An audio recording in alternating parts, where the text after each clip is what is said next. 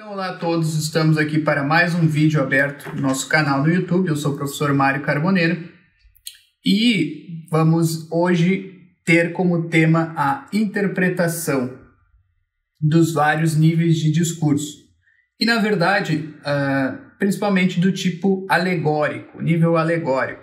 E nós vamos fazer uma, uma exposição aqui bem prática, certo? Sem muita teoria.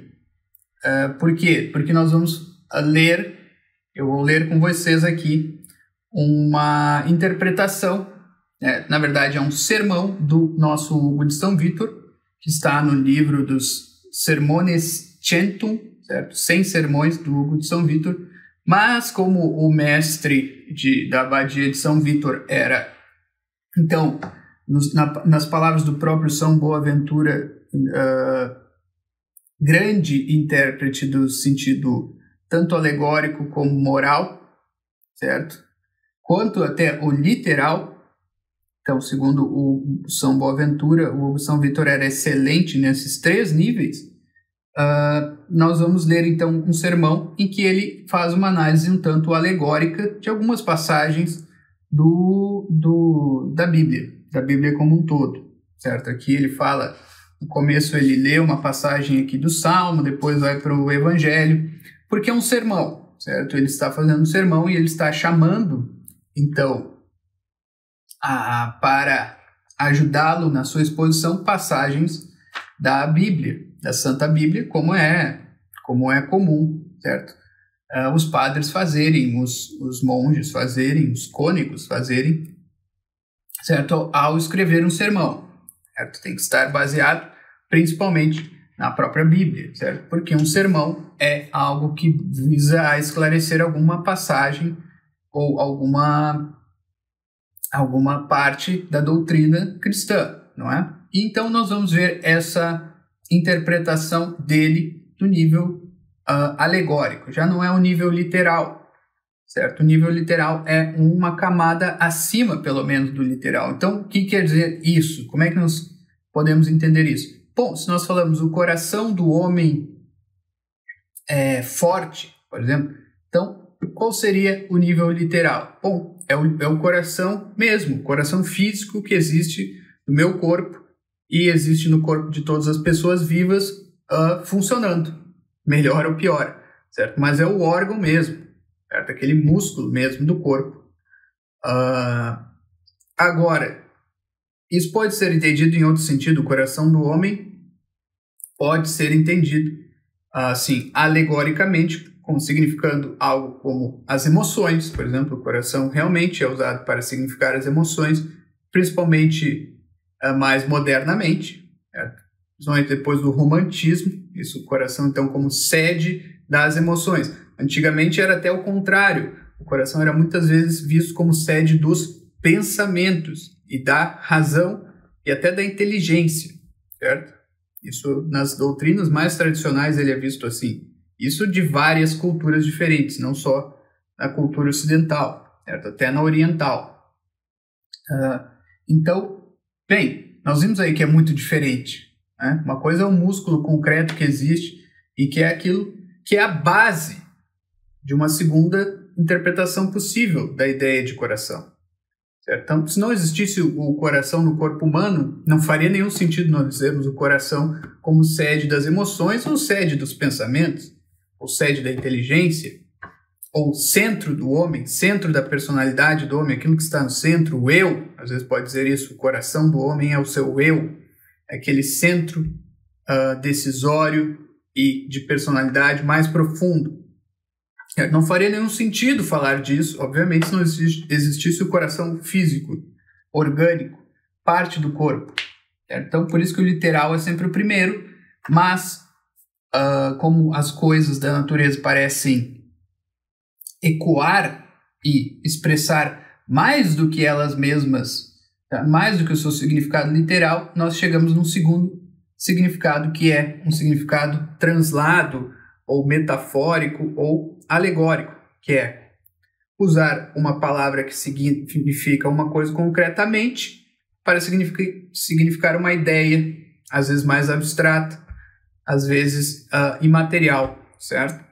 Para significar algo imaterial, algo que é difícil explicar. Porque só se nós dissermos sede dos pensamentos, a sede dos pensamentos, aí nós já temos uma metáfora, na verdade. Porque sede é o quê? É o lugar onde se senta. Ou é um. Ou também pode significar uma casa, certo? Um, um edifício. Então, tudo isso nós vamos ter nós vamos ter ali metáforas para expressar isso, certo? De onde, de onde vêm os pensamentos do homem? Ah, vem da, do cérebro. Pode dizer, tá, mas eu vou abrir o cérebro não vejo nada ali. Então ele vem da sede dos pensamentos. Ele vem do coração, de algo que é central, que é a, o lugar da vida do corpo, certo? Então nós vamos ter que usar esse sentido translado, analógico, para expressar aquelas coisas mais abstratas ou sutis da realidade, certo? Então vamos ver como o Hugo de São Vítor agora faz isso, faz interpretações aí de passagens da Escritura, das Santas Escrituras, num sermão dele, que é um sermão sobre a festa de qualquer santo. E ele diz: A Sagrada Escritura cantando o louvor do justo já no começo de um livro, diz sobre ele: Será como a árvore plantada junto às correntes das águas, que dará fruto ao seu tempo. Isso aqui é o Salmo 1, uh, versículo 3, certo? Bastante conhecido de quem uh, costuma ler o Salmo, certo? Esse é bastante citado, uh, talvez por ser o primeiro, mas é, de qualquer forma bastante citado, bastante conhecido. E aí continua o de São Vitor. Agora, devemos, pois, perguntarmos-nos, irmãos caríssimos, o que são essas águas? E o que são as suas correntes? E o que é a raiz desta árvore? O que é o seu tronco? O que são seus ramos? O que é a sua casca? O que é a sua medula? O que são as suas folhas? As suas flores? e os seus frutos. Veja o que ele fez aqui. Ele já de cara se colocou a seguinte, a seguinte perspectiva. As, a corrente das águas não quer dizer uma corrente de água, não é um rio uh, comum. Certo? O salmista não está falando de um rio. E quando ele fala de árvore plantada junto a essa corrente, ele está falando de uma árvore. E aqui é bastante claro, porque ele fala assim: será como? E esse como aqui já introduz um, uma figura, um sentido figurado, certo? Ele diz: o justo será como? Óbvio que ele não vai dizer de forma literal: o justo será uma árvore, porque o justo não é uma árvore, o justo é um homem, literalmente, certo? Isso é óbvio. Mas, no sentido alegórico, justo será como uma árvore plantada uh, à beira de uma corrente de águas, certo? E o Hugo de São Vitor ainda vai além, ele diz, eu não vou interpretar só isso que está escrito, vou interpretar a árvore toda, embora ela não tenha sido citada nas suas partes. Ele diz, eu vou interpretar as folhas, os frutos, a casca, a medula, a raiz, eu vou interpretar tudo, certo? Isso aí, claro, um intérprete assim, renomado, treinado e, e talentoso pode fazer. A nós não convém, a nós que somos iniciantes e não temos tanto treino ou nenhum até nessa coisa de interpretação alegórica, tá? E aí ele começa a interpretar. As águas de que nos fala o salmista são os dons da graça, pelos quais Deus irriga o justo. Então, olha só, ele atribuiu as águas a um outro sentido. Ele diz: as águas são os dons da graça, certo? Pelos quais Deus irriga o justo. Então a graça é como uma água que irriga o justo, que é aquela árvore, certo? Ele vai dizer: para que cresça, para que o justo cresça. Enquanto o homem, não, não é enquanto o homem. Enquanto o homem, o homem cresce mais ou menos uh, naturalmente, sendo alimentado, sendo cuidado por seus pais. Mas o justo, o homem enquanto justo, ele precisa ser alimentado então com outra coisa, com as águas da graça, os dons da graça, entendem? Então, para que cresça e produza fruto. Então, continua aqui a, a metáfora, a alegoria, certo? Uh, com a árvore. Então, o fruto é como uma árvore, é, o fruto, o justo é como uma árvore porque ele tem de crescer enquanto justo, não enquanto homem natural, mas enquanto justo, e dar frutos. Isso é ser justo. É ser uma árvore que dá frutos no tempo correto, como diz o próprio Salmo até. Suas correntes são o seu sopro, pois de fato está escrito. Então, suas correntes, as correntes da água ali mencionadas no Salmo, são o sopro da graça. Tá? Pois está escrito: o Espírito sopra onde quer e tu ouves a sua voz, mas não sabe de onde vem nem para onde vai. João 3, 8. Então aqui ele já trouxe, uh, o de São Vitor já aproximou da, uh, dos dons da graça a ideia do Espírito, certo? Do Espírito Santo. Quem dá essas graças uh, ao justo é o Espírito, o Espírito Santo. E continua: assim como as águas, o Espírito Santo, aproximando-se e afastando-se de nós, também flui e reflui. Então ele diz: o Espírito se aproxima e se afasta. Tá? Isso quem nos informou foi nosso Senhor em João 3,8. O Espírito sopra onde quer. Sobes, tu ouves a sua voz, mas não sabes de onde vem nem para onde vai. Então, é, o São Vitor diz: é assim, o Espírito se aproxima de nós e se afasta. Há motivos para isso, certo? Bons motivos, afinal, Deus não faz nada sem bons motivos. Flui para a nossa justificação, reflui para a nossa humilhação. Então, aqui, o Hugo de São Vítor explica por que, que ele flui e reflui. E isso é bom para nós, certo? Quando ele nos se aproxima, há uma justificação, quando ele se afasta, há uma humilhação. As duas coisas são boas para nós, pelo menos quando vem do Espírito. Que é uma coisa diferente de dizer um homem nos humilhou. Ele pode, esse homem que nos humilhou uh, pode ter feito isso uh, injustamente. E aí não é bom para aquele homem que nos humilhou. Talvez até seja benéfico para nós, porque talvez o Espírito tire algo de bom dali para a nossa alma. Mas para a pessoa que nos humilhou injustificadamente, bem, aí não é bom, certo? Aproxima-se para que cresçamos, afasta-se para que não nos ensoberbeçamos. Então, esses são, os motivos, de acordo com o Hugo de São Vítor, por que o espírito se aproxima e se afasta. E as duas coisas são boas. Flui para que cresçamos na virtude e reflui para que não nos ensoberbeçamos da virtude, por causa da abundância da graça. A fonte dessas águas é Cristo, seus rios são os dons pelos quais o justo germina, cresce e se consuma pela perfeição. Então até aqui de novo, ó, o Hugo de São Vítor, ele vai além e diz a fonte das águas, que no Salmo não é mencionado. Mas o Hugo de São Vítor pega a ideia das águas, da correnteza de um rio, ele pensa: bom, todo rio tem uma fonte de onde ele brota.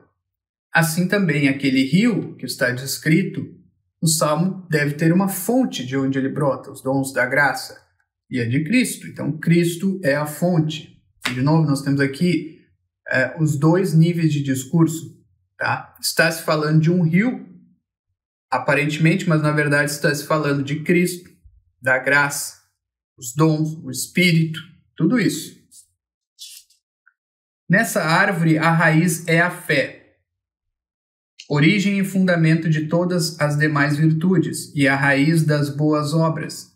Por essa raiz, o justo é plantado em Deus, e sem ela não se produz nenhum bom fruto, como diz o apóstolo. Sem fé é impossível agradar a Deus. Hebreus 11, 6. Uh, então, veja bem. A raiz, que é a raiz do justo, nós lembramos lá que a árvore significa o justo, é a fé, certo? É isso que diz o Hugo de São Vítor. E bom, faz sentido, certo? A raiz das virtudes teologais, a primeira delas, melhor dizendo, é a fé. Sempre é assim: fé, esperança, caridade, sempre nessa ordem, certo? E aí, mas Hugo de São Vitor, não satisfeito, ainda faz uma citação da Escritura para embasar a sua interpretação. E isso é importante. É, todo intérprete, principalmente da Bíblia, que faz uma leitura é, em nível alegórico, ele deve conhecer bem a, a Bíblia por isso. Porque se ele interpretar a raiz da árvore citada no primeiro salmo como a fé, é bom que ele tenha alguma, em, algum embasamento dentro da própria escritura para isso. E o de São Vitor realmente tem, porque ele é um conhecedor profundo. Talvez até conhecesse a Bíblia inteira mais ou menos de cor. Certo? Não é impossível isso. Nós sabemos que ele conhecia o livro dos Salmos assim, por exemplo. Então, vamos lá. Ele continua. Quão boa, pois, é essa raiz, dela toma início o bem e a vida do justo. Certo?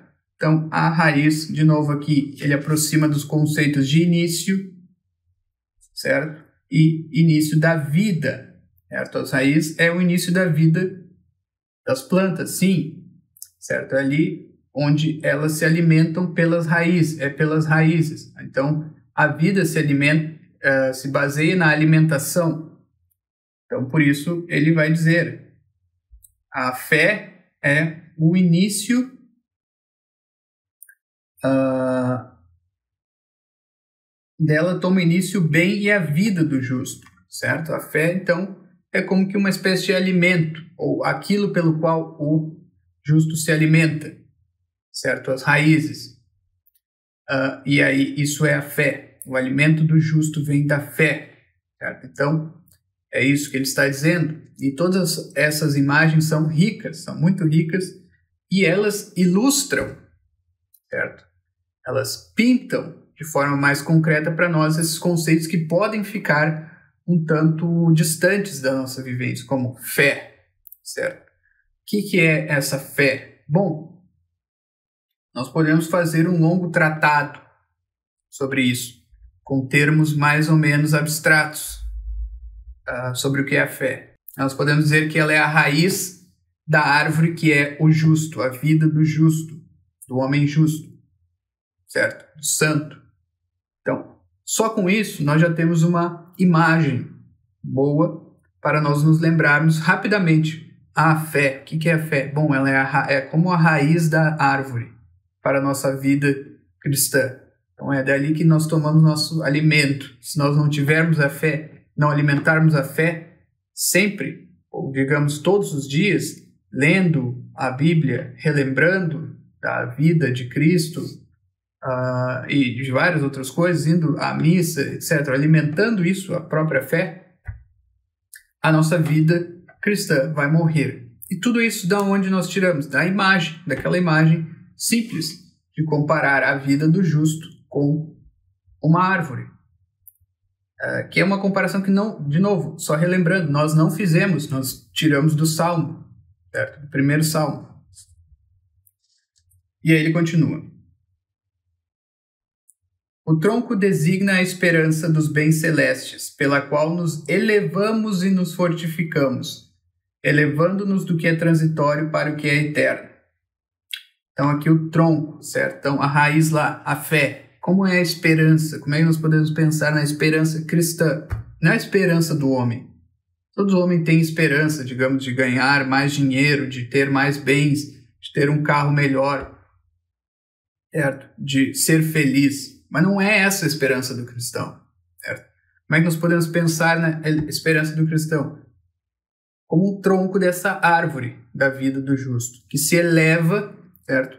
É a esperança dos bens da outra vida, da vida eterna, é como um tronco que se eleva certo? e nos tira, tira a nossa esperança natural das coisas deste mundo transitório e leva para o mundo as esperanças das coisas celestes, certo? Por fim, os ramos são a caridade, que se eleva para o alto pelo amor de Deus e se estende para os lados pelo amor do próximo certo? Então, essa é caridade, os ramos. E até depois nós vamos, podemos pensar, vamos ver se ele diz aqui.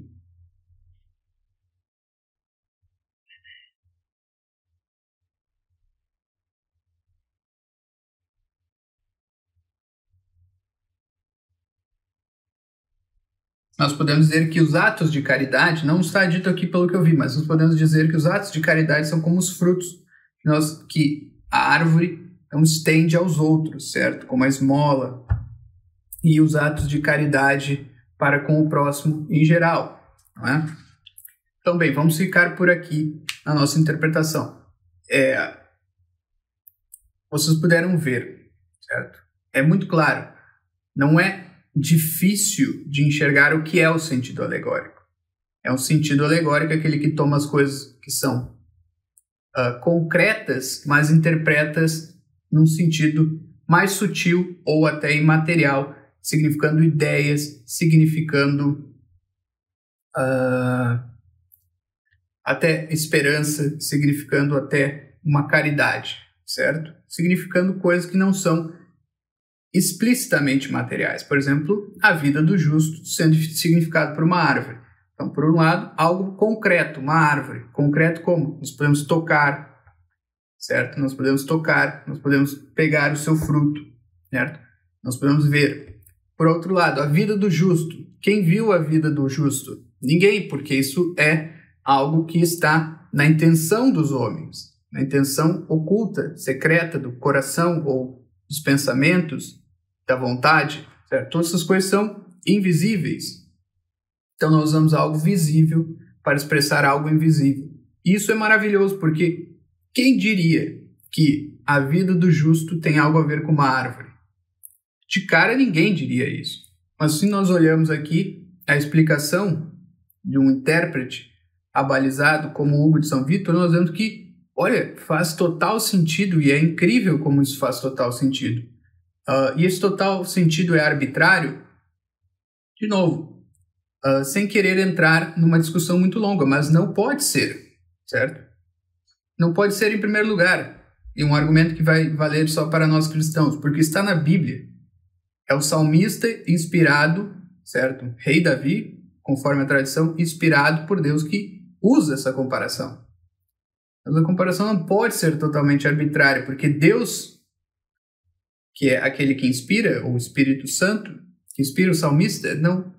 Ele, ele, é o, ele também é Deus criador, que criou a árvore e criou a vida do justo como uma possibilidade da alma do homem. Então não podem ser coisas totalmente diferentes que não tem, guardem nada que ver uma com a outra, certo? Isso é assim para nós que fomos criados uma mentalidade moderna que é materialista, e que ainda por cima diz que o mundo veio de uma explosão, certo? Causa, que, causada por ninguém, pelo nada. Uma explosão que simplesmente explodiu porque queria explodir, porque tinha de explodir. E não há nada para além disso na forma de uma explicação, e que diz que todas as coisas são materiais e tudo vai se reportar a um átomo ou a alguma coisa quântica, certo? Que é a base de tudo. Quando nós sabemos que no fim das contas, nós que temos fé, que na verdade a base de tudo é Deus, é a sua criação, certo? É o fato de que Ele criou as coisas e as mantém uh, na existência, certo? Mantém as coisas da natureza e a própria natureza enquanto leis, digamos assim, uh, da criação na existência porque Ele quer, porque assim Ele acha bom, certo? Então, aí dentro, as, é, dentro dessa criação por Deus, as coisas fazem sentido, as coisas não estão totalmente separadas por a, pela arbitrariedade cega da natureza, certo? Então, para quem queira uh, se treinar nessas coisas, nessas leituras mais altas, nesses voos uh, literários, é preciso, então, sim, ler muita literatura, decorar muita coisa. Salmos, por exemplo, é muito importante mas também precisa ler os intérpretes abalizados e, e aprender com eles como, quais são as interpretações mais uh, condizentes, que não são fruto da pura fantasia uh, destreinada, certo? Porque isso tudo aqui, toda essa interpretação do Hugo de São Vitor não é da cabeça dele, ele uh, aprendeu de uma tradição que existia na, na época dele, que hoje em dia está mais ou menos perdida, infelizmente, certo? Dentro da própria igreja não já não se dá tanta ênfase a essas leituras alegóricas, morais. A moral até se dá mais, né, obviamente, por motivos mais ou menos óbvios, mas a alegórica, por exemplo, está um pouco perdida, infelizmente. Mas ela é muito útil.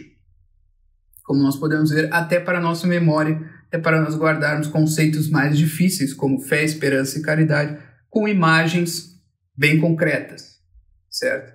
Aí nós vamos querer lembrar de, de fé, esperança e caridade, nós vamos lembrar dessa árvore, certo? Nós vamos lembrar que ela significa ainda a vida do justo, e a vida do justo é embasada em fé, esperança e caridade, certo?